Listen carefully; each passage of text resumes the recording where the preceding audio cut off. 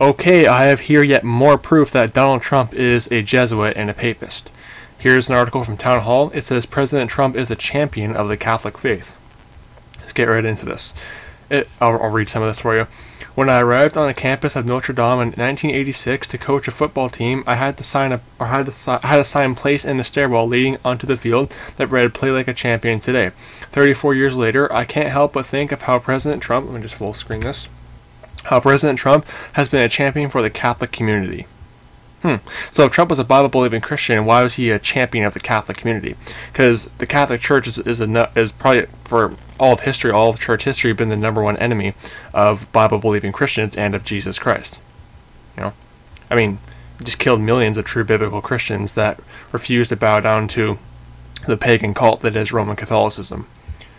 It says here, as a lifelong Catholic, I was com- I'm compelled to speak out. Archbishop Wilton Gregory of Washington, D.C., recently criticized President Donald Trump for visiting the St. John Paul II, or St. John Paul II, saint. Yeah, he's burning in hell now, this St. John Paul. The Bible says we're all saints. Just read the Pauline epistles. Every time Paul addresses the church, he addresses the church members, he calls them the saints of Church of Rome, the saints in here, saints in there.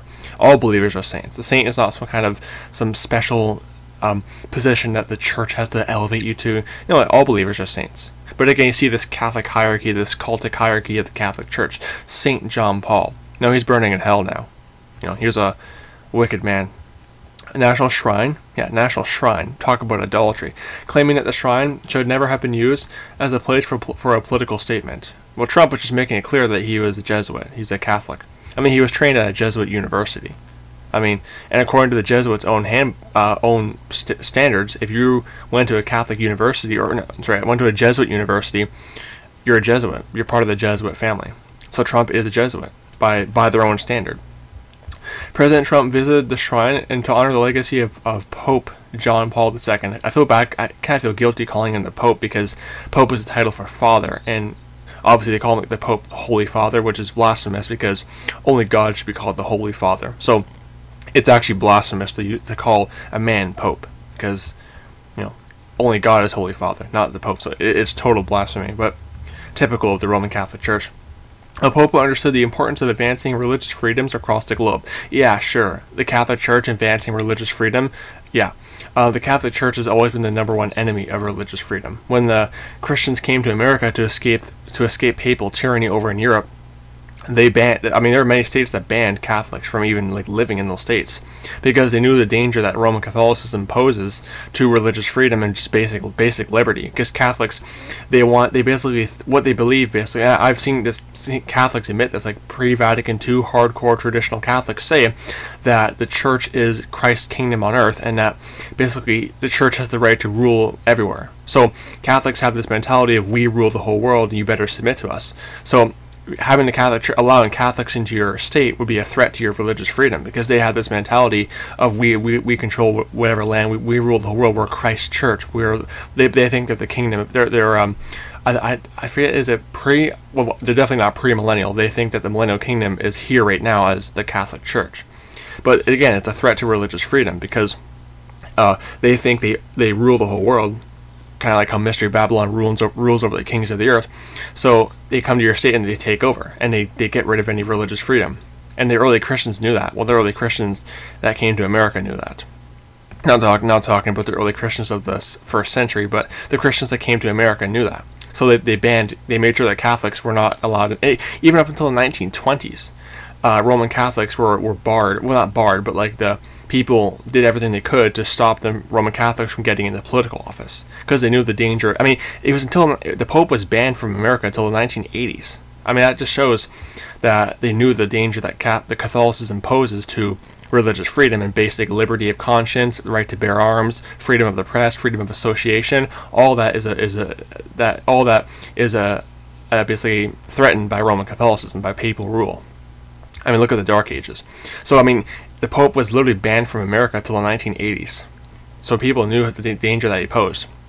You know, getting off, getting a sidetracked, but I had to go off on that, you know, because uh, as a Christian, I, I do believe in, in freedom and liberty. I'm very I'm very libertarian in my, my political leanings. I am also socially conservative, but I, I would be considered probably a paleo libertarian because I do believe in traditional values, but I also believe in, in liberty and freedom, like liberty of conscience, which is why I also vehemently oppose things like communism, fascism, Nazism, anything that oppose that poses a threat to religious freedom and just basic liberties, liberty of conscience, you know, freedom of association all that stuff. I'm very right leaning libertarian. I'm, I'd be considered a right libertarian. All that is a danger or is threatened by Roman Catholicism.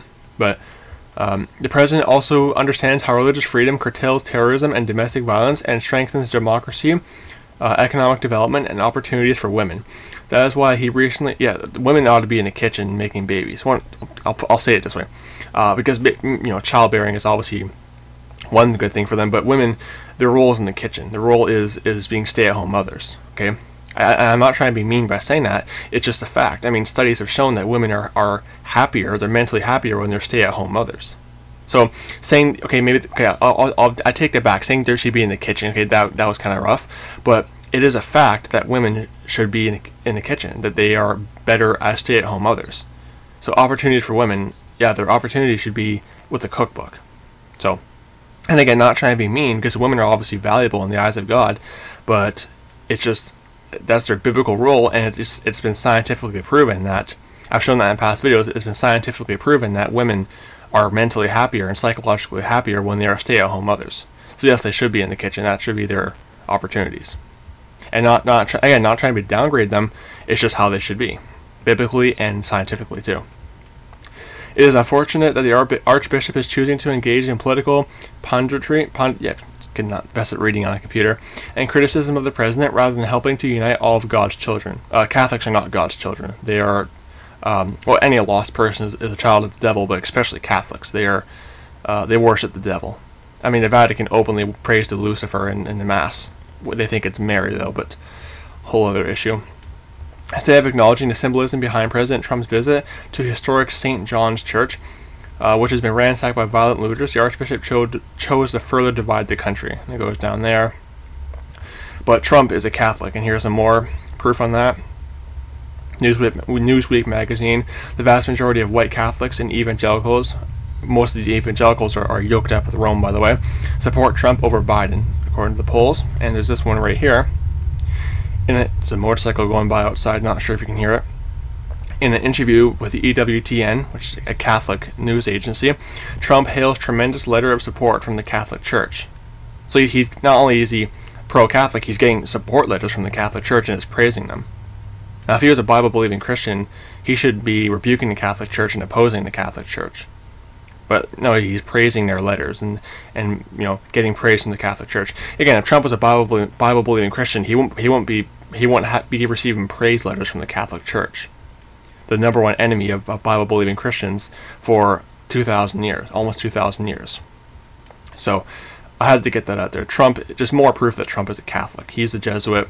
Um, he's not a Christian. Even if he wasn't a Jesuit, he's still not a Christian because he supports a lot of, well, I mean, he supports some righteous things, but he is still, he supports, like, for example, he's trying to push for the legalization of sodomy worldwide and, you know, all this other stuff. He supports he supports sodomite marriage. You know, so even if he wasn't a Catholic, he still is a wicked person. So don't be deceived. God bless you. Goodbye.